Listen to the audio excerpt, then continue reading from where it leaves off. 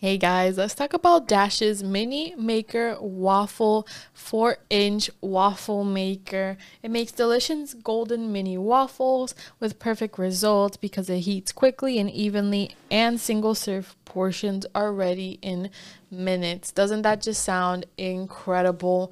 Too good to be true, but we're here to tell you that it is true.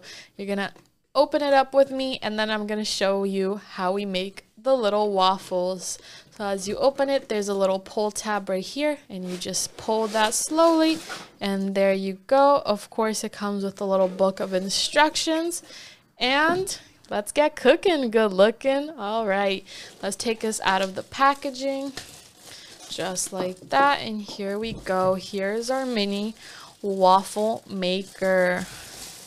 There you get your cable and here's the actual appliance.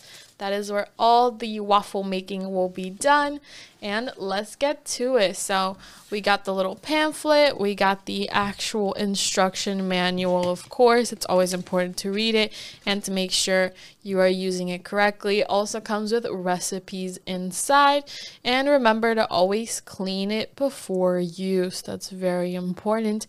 But pretty much all you got to do is, you know, open it up, let it heat Spray it with some kind of oil so it doesn't stick and add your batter in and close the lid. And once it's ready, you're to know the little light is to go off and you have a perfect little waffle. And then you have also the recipe guides for classic, pizza, banana bread, and everything in between. Okay, so let's get to making the waffles.